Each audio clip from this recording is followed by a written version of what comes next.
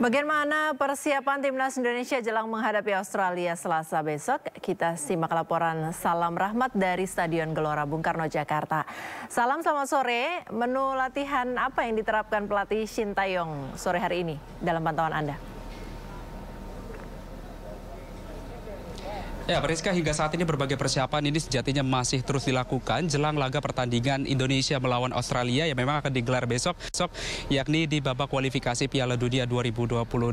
Di mana nantinya jelang laga tersebut timnas Indonesia ini memang uh, akan berlatih begitu di Stadion Utama Gelora Bung Karno yang akan dimulai pada pukul 19.20 waktu Indonesia bagian barat. Sementara untuk timnas Australia ini akan berlatih pada pukul uh, lebih dulu di pukul 18.00 dan memang dari informasi yang kami dapatkan memang uh, bahwa untuk uh, penerapan sesi latihan ini belum bisa dibeberkan sekarang begitu Priska dan juga pemirsa bahwa memang ini masih sifatnya masih sangat rahasia dan bahkan untuk media pun ini hanya diperkenankan untuk mengambil gambar saja ketika nantinya uh, jelang uh, latihan begitu yang akan berlangsung pada pukul 19.20 waktu Indonesia bagian barat. Namun yang dapat kami informasikan kepada Anda Priska dan juga pemirsa bahwa memang dari uh, lima pemain Indonesia yang nantinya memang akan diproyeksikan begitu untuk uh, membela dan juga untuk uh, memiliki juga uh, kemenangan begitu untuk melawan timnas Australia. Ini memang ada sejumlah pemain yang memang digadang-gadang akan menjadi uh, tampil maksimal begitu seperti di antaranya uh, Witan Sulaiman, lalu juga ada Nathan, Jai Itzes,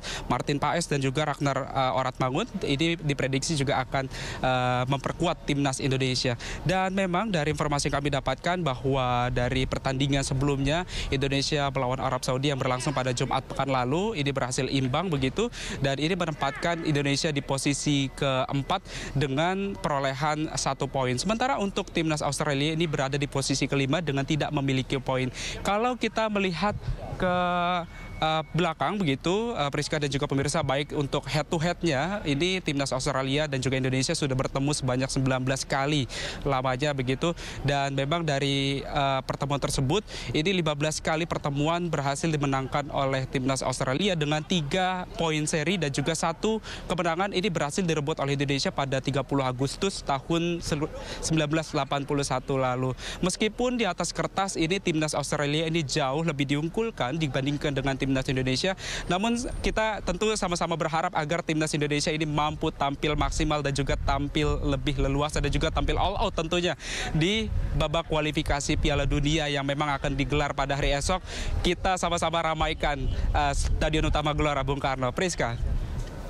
Ya, terima kasih. Salam rahmat melaporkan langsung dari Gelora Bung Karno, Jakarta. Selamat bertugas kembali.